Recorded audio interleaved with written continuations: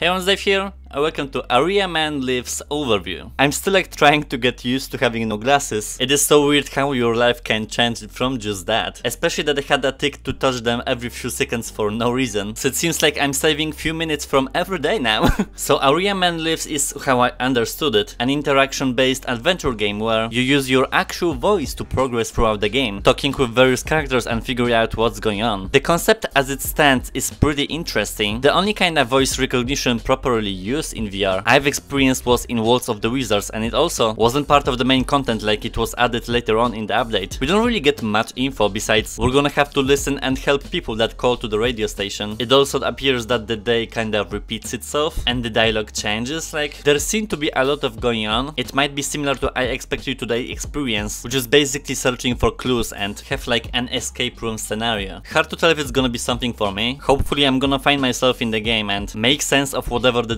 developers thought of. Let's go to the gameplay. Welcome. Our new shipment of comics hasn't come in yet, so we're a little light today. Don't touch anything. Just kidding, of course. What's going on? Why we have monster hands? Utopitech is buying up everything. Pinata Pete's used to be an offbeat little staple of our community. Now it's all monkey gloves and eagle eyes. What a gimmick. No offence. Your Utopitech enhancements are real cutting edge. And my biggest complaint is that Utopitech is building a mindless consumer base. Just grab one of those bobblehead raptors. They're so far though. Do I have to actually stand up? I don't know if I have space. Hey, don't look at me for help. You're the one wearing the monkey gloves. They're equipped with laser grab, you know. Just point at the raptor by closing your lower three fingers around the grip, and when the laser's targeting the raptor you want, pull your pointer finger down on the trigger to pick it up. Cheap, mindless junk. But I can't keep enough of them in stock. People are lining up for them. You may have noticed my service bell.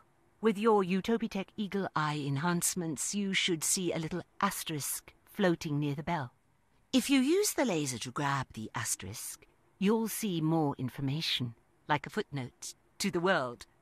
I don't go in for most enhancements, but I really dig the footnotes. I add them to everything. They're never about anything important, so don't get too hung up on them. Once you've read the footnote, it goes away. In fact, I just added a footnote above the door you came in. Turn around and check it out. Now, I suspect you came in here looking for a great adventure. I love a comic book world. You have to slow down and really imagine the action to get the most out of it. Well, that works, I guess. Do you need help picking up the comic book? Use your laser pointer to pick it up. I'm just thinking if those are like different storylines or something. Just close your bottom three fingers around the grip. Point the laser at the comic book. Late night in the town that goes to bed early. Wait, what the hell? Oh, okay. Late night in a town that goes to bed early, one DJ sits alone in a seaside radio station. 30 seconds until you're on air, reading your live lead. Well, practically alone. There was the producer. It's hard to ignore that guy. Can I change like the height and stuff? There are no menu, okay. Um.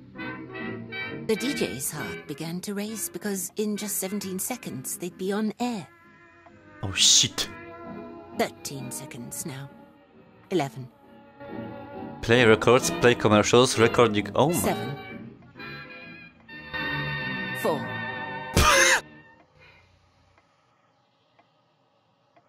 Hey there, night owls. This is Taylor, serving you a healthy portion of the best local music with a dash of the rest.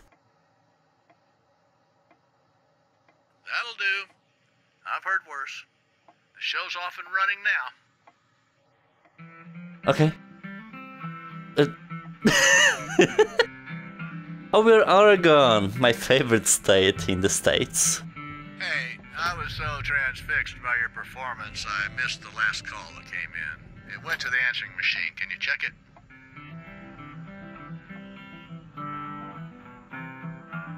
Hey, uh, Taylor. You don't know me, but I, I think you're supposed to help me. Uh, I know that sounds weird, but all week I've been having these, uh, uh, these premonitions, I guess. Uh, and I was trying to ignore them, but what if they're important? you know, so I thought, okay, if I need to act on these clues I've been getting, then I need a sign to confirm it. And then your show came on and you said, this is Taylor.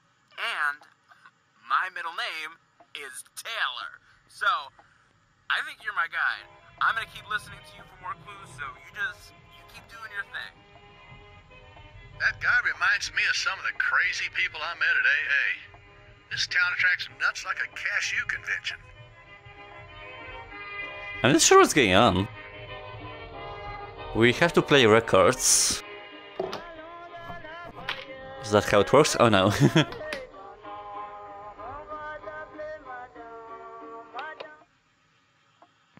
we can go there? Oh, but there's no locomotion, okay. Play commercials. to the ocean. Hurry, don't delay. Oh my god, Pentium. Wash me to her. Kidding me, honey? I, I tried it four times. You watched me. Uh, yeah, sometimes the radio tower integration on that computer picks up stray signal bands. Keeps getting crossed with some tow truck driver's GPS. A little eerie that the GPS is always listening, if you ask me.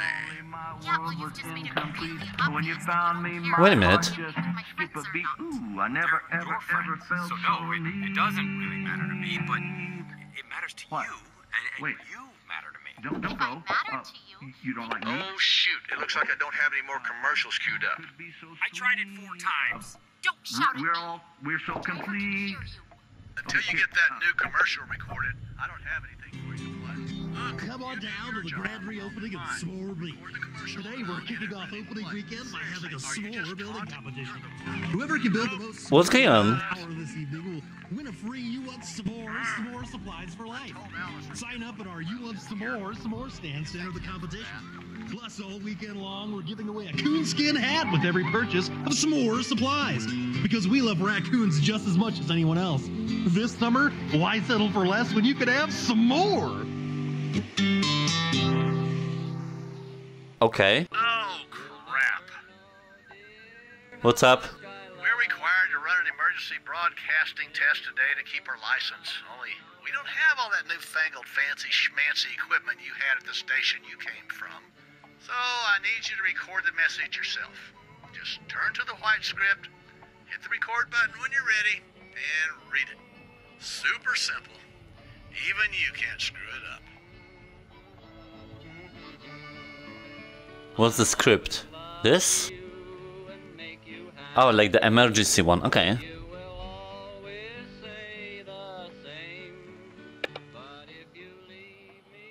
This, Waiting.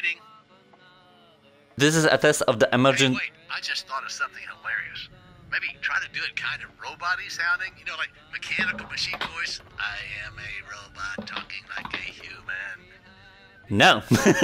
Oh, and um, where it says beeps, just read those too. Our sound effects board is on the fritz, so really put some oomph into it. You know, like beep, beep. There's so much going on. Sorry, just one more thing. Don't feel tied to the beeps. Put your own spin on it, like like wah wah wah, Oh, or ooga ooga, or neener neener. Whatever you're feeling. beep beep beep. Oh no. this is a test. That was inspiring. Don't you go leaving me to take a run at an acting career now. Are we done? Damn it. Okay, hey, uh, I'm heading to the Skookum River first, but I don't know what I'm looking for or how much of the river to search. Plus, there's like, I don't know, three or four other rivers in town. Just then, without rhyme or reason, the DJ could not resist the urge to put the Raptor's little left Bon voyage, weirdo. I can't believe he thinks you're leading him. Left The hand. DJ unexpectedly felt a strong urge to clap their hands. Maybe it's not that weird. As if everything in their life is carefully orchestrated by some invisible laser pointer in the sky. I'm not angry. I just I wonder if they're really convinced or if believing in God is just more comfortable for them psychologically. I don't know what's going on. Play news segment.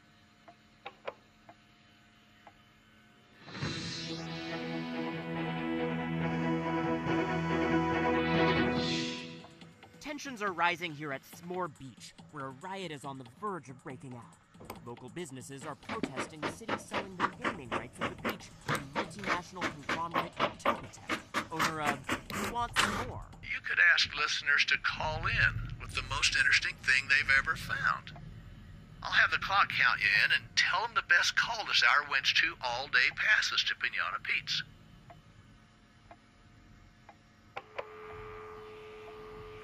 Hello, hello.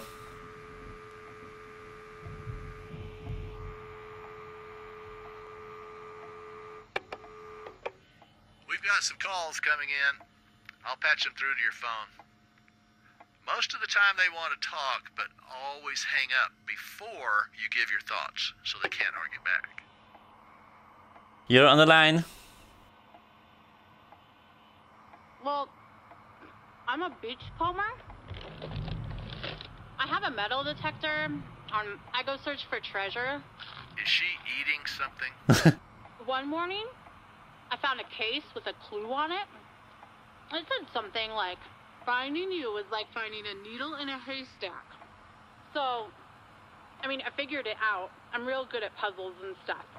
I went to Haystack Rock, and there were all these candles, and flowers, and a shovel with a note. And the note said, "Say yes." So I dug there, and I found a jewelry box. Oh. The ring inside was the most expensive thing I've ever found at the beach. I sold it, and I bought a nice boat. People are so stupid. We're actually calling from the boat right now. If you don't believe me, watch the sky over Haystack Rock.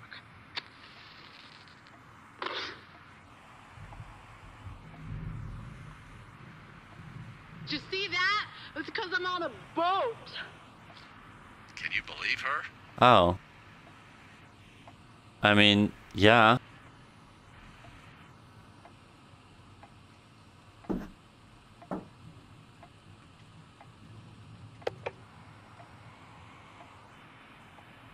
Hello, hello, hello. Raccoons are being tortured. I can hear them out there every night by the tech building near Highway 7. And they cry their little raccoon cries, and you can hear them behind the dumpster, and they're just bawling and crying and screaming, and you can hear it. Sorry, I tried to pre-screen the calls. She told me a story about finding herself. I tried to hang up on her, but she slipped through.